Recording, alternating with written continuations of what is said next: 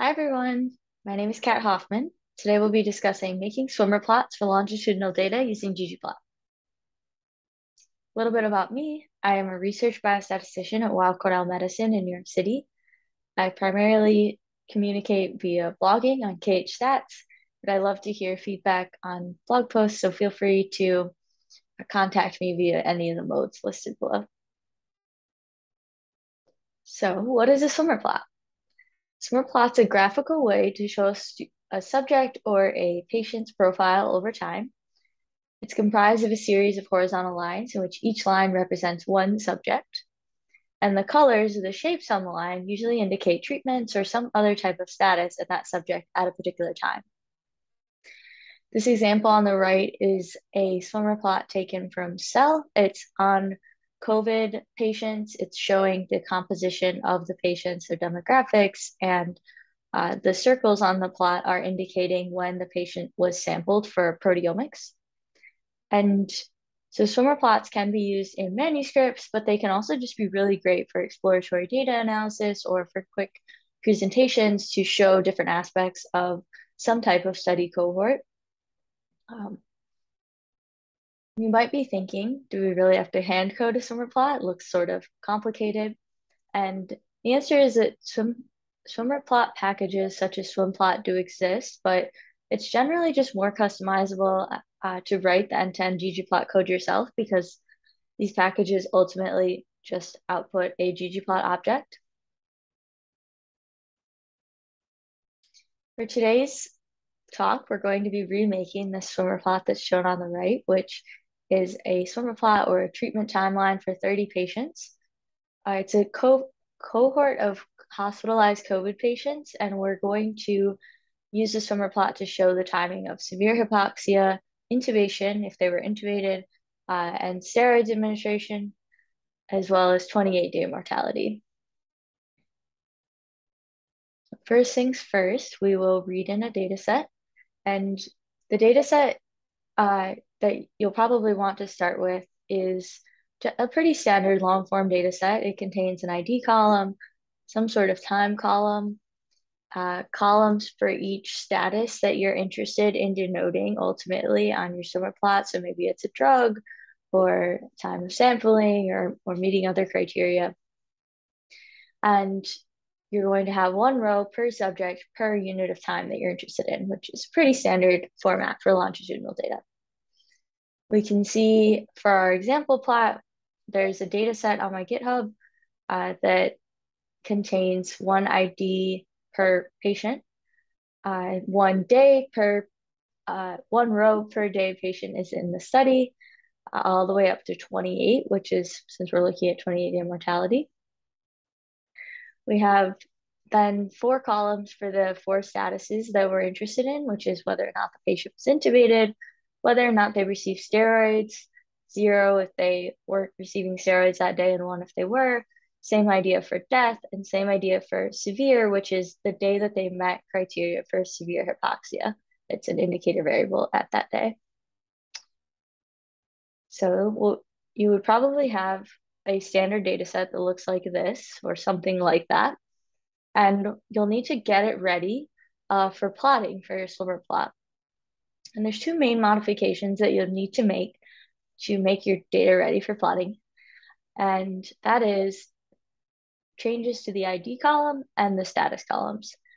The ID column change is optional, but I like to refactor or reorder my ID column by uh, the length of time that my subjects are in the my study of interest so that it's a little easier on the eye to just look down and see like a nice descending uh, order of length of stay or, or length of study time. So we can look really quickly at how we would do that. We can take our long form data set, we can group by ID, make a maximum day variable, and then use factor reorder and reorder our IDs by the maximum day in the study. We'll have the same time column, but for our status column, we now want to make a status column that is the time that the status occurred, assuming you want the status to appear on the plot. So instead of it just being a, uh, an indicator variable for status, we're going to make it be the time if the status uh, uh, occurred and you want it shown on the plot. And we're still going to have one row per subject per time, but let's look at how we can modify that status variable. So we'll take our reordered ID data set, and we're going to use the statement case_when from dplyr, which um, basically says if we're going to make a new variable called like the status underscore this underscore day, uh, and that status is going to be if the patient met the status that day, then it's the day that the status occurred. So instead of it being an indicator, we're now going to have it be day. And the default for case_when, if you don't give a statement that uh, the that is met logically, is just to be NA, which is actually perfect. That's exactly what we want. So for our, uh, our severity, status, steroids, and death, we're going to do this case_when, case one statement to make new status columns to be able to show on our ggplot. And so we can see what the data set looks like. We still have our ID day column, um, but now we have these new columns called severe this day, for example. And this first patient became severe, severely hypoxic on day zero, one, two. And so uh, at that day, instead of it being an indicator variable, we now have it the day variable, which is two. And it's NA otherwise. They never received steroids, but they did die on day 16. And so instead of being an indicator variable, it's now 16. We can look and see that a different patient receives steroids, for example, on days 13, 14, 15, and 16. So this is what we're going to save and uh, start to plot in our ggplot. So for ggplot, we are going to pipe our swimmer data and then set a global aesthetic for our ggplot that is the uh, ID. An ID is going to be mapped to both our Y aesthetic as well as the group aesthetic. And you'll see why it's basically to make all the lines stay together with the ID. So this is our reordered ID variable. We're just going to take away that gray background with theme underscore BW. And uh, we're going to add our first geometry, which is a geom underscore line. And to geom line, we're going to additionally map that x, the x-axis should be the day column. And when that's just the day that they're in the study. And the color is going to be mapped to intubation status. And so we can see now we have a line for every patient ordered by length of stay and their intubation, uh, the line is colored by their intubation status. So that's a great start to the timeline. We can then add the day that each patient uh, receives steroids. So steroids underscore this day, we can map that to a geom point aesthetic. And then it'll just be these default little black circles as a shape. We'll do the same thing for the day that they met severe hypoxia criteria and the same thing that for the day that they died. And of course, this plot is not very useful right now because it's just a bunch of black circles and no way to really distinguish them. So let's modify those geom layers. And to modify those, let's start over. So we'll go back to sort of our blank slate ggplot. And this time when we add the geom layers, we're going to start adding some characteristics of the geometries outside of the aesthetics argument. So here I've added I've bumped up the size for the intubation status. I'm also going to change the stroke and the shape to be squares for my steroids uh, indicators. I'll do a similar thing for severity of hypoxia. I'll make them circles and I'll make the uh, death little checker uh, X's. And so now we need to have some sort of a way to be able to distinguish these different colors probably. That's a good next step. And you'll notice that we also, since we added all of these characteristics outside of the aesthetics argument, we're not getting a legend that corresponds to any of these shapes right now or, or different stroke types. So when we add the colors, you're going to see that uh, we're also going to uh, do this in a way that gives us a legend for other symbols on the graph. So this is sort of the most important step, I would say, to be able to make nice swimmer plots in with ggplot.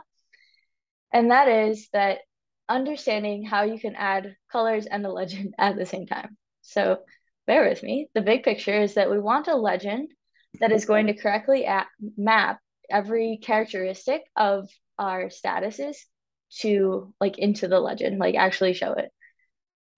And to do that, we need all of our statuses to show up in the legend, which they currently don't because they're not being mapped to aesthetics.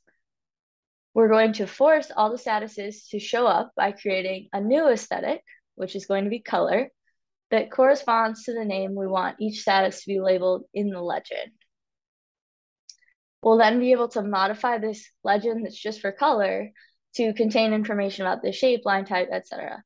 But you'll be able to see this all in one second, but sort of keep in mind that that's the big picture is we need to, to force over ggplot's, I guess, natural tendencies of what it wants to show. So we're going to do that by taking, we'll, we'll restart with our geom point as uh, geometries. And we when we add them, we're now going to add this argument for color in the aesthetic. And the this uh, parameter that we're going to put in is going to match what we want the symbol. So like for this one, it's steroids, what we want that symbol to show up as in our ggplot legend. So we have this variable steroids this day. We want it to be called steroids, and you'll see that when we add it, we toggle back and forth, it gets added here now, steroids, into this legend, which now uh, describes the colors on a graph. We'll do the same thing for hypoxia. Say we want it to be called severe hypoxia. We see it shows up on the graph. And for death, same thing, it's now in the graph. Um, and one thing to note is obviously these are just uh, default colors for ggplot. So we're going to figure out how to change those in the next step. Also, this is clearly just a legend for color. It's not incorporating any of the shapes that are that are happening right now. And this legend is in alphabetical order, which may not be actually what we want it to be in like in our final plot. Like I don't want death to be shown first because that's the thing that happens last chronologically. So we're going to show in the next step how to change all of that. So it's time now to modify colors. And to modify the colors, we're going to make a key uh, that corresponds to the syntax that this uh, layer that you can add to ggplot, scale color manual, uh, what that it takes in. So the key, the key for that is going to be a vector, and it's going to be a labeled vector, and the labels are going to match um, the colors that we just assigned in the previous slide. So I said I said the label for the legend was severe hypoxia. I'm gonna put that there. I'm gonna match it exactly. Uh, same character strings as I have in the colors aesthetic. Those are going to be the names of my vector. And the values of my vector are going to be the colors that I want to appear. And that's just the syntax that Scale Color Manual takes for values, the values argument. Um, and of note, the order of this color key needs to be the same as the order the statuses appear in your legend, or, or as you want them to appear in your legend. So as I said, I didn't want death to occur first in the legend, even though it's alphabetically first, so I put that last here. And we're going to put this cols key that we just made as the values argument of scale color manual. So let's do that now. So we have our same plot as before, and you can see with just really one line of code, adding scale color manual values equals our color key and the name equal to the name you want the legend title to be. So patient status right here. We can really do a lot with that, just one line of code. So we can toggle back and forth. You can see we got all of the colors that we wanted and the order of the legend that we wanted corresponding to the labels that we want. And yeah, our plot is, is now looking in much better shape. The last thing that we need to do to this plot is you'll notice that it's still just a legend for color. And it's not reflecting like, oh, I have a black X for death, not just a black line with a square on it. So we need to modify this legend using override AES. Uh, and override AES stands for override aesthetic. And that can be used, well, you'll see, but it's it's in one of the guides layers that you can add for ggplot. But to do this, to use override aesthetic, we need to create vectors for overriding everything that we want over it. So shape, line type, strokes, and size for this plot because I changed all of those things um, in the, the geom point layers. So these override vectors need to be in the same order as the color key that we made, the cols key. And as a reminder, the cols key looks like this. So severe hypoxia, like all the names and then all the colors that they correspond to. And we'll just make vectors that go in that same order. So for shape override, if you remember for the geom points, we said that hypoxia should be a shape of 21 because we wanted it to be a circle. We don't want a shape to show up um, for intubated and not intubated in our legend, so we're going to use NA. We have a shape of 15 and 4 for steroids and death, respectively. Similar idea for all of the other characteristics. We don't want a line to show up for our status indicators, but we do want them to show up for intubation, so we'll put ones there and NAs for the other. So now we'll take these four vectors, these override vectors, and this is the same plot as before. I'm just going to add this sort of block of code for with for the guides uh, layer of ggplot. And we'll say, this basically just says, take the color guides, the color legend, and override the aesthetic with this list that I've given you. So my list is, hey, for stroke, I want you to override the legend and use my stroke override uh, arguments, parameters column. And for size, same thing, shape, line type. And as we toggle back and forth, you can see over here at the legend is uh, removing all of the extra, I guess, stuff that we don't want to show in the legend and uh, yeah, customizing it to be our own. So at this point, we really have um, a, a plot that's pretty close to being what I originally showed you in the first slide. So we can take just a couple minor edits. I'll go through this really quick. These are very much your own personal preference, but I add labels. I remove white space using ScaleX continuous. Uh, do a bunch of things to the fonts and the justification. Move the legend inside. And then I remove these last lines, although definitely personal preference. But right here is the final plot that I showed you at the beginning of the of this slide deck. So in summary, long format plotting data needs to have one column per status per row that indicates the time this, of the status marker if you want it to be denoted. And once you've got your data properly formatted like that, ggplot can be used to make very customizable swimmer plots with the geom line and geom point layers. The legend can be properly configured using override aesthetic from in the uh, guides layer and these ideas can be extended in many ways, such as showing patterns of missing data. This plot is showing patterns of missing data using transparency and a continuous covariate. It's from a 2019 blog post, but the, the slide deck corresponds to a 2022 blog post that I have. And yes, thank you all so much for listening and for to the authors of xaringan and flipbookr for making these slides possible. Again, would love to hear from you all uh, after this, and we'll take any questions now. Thank you.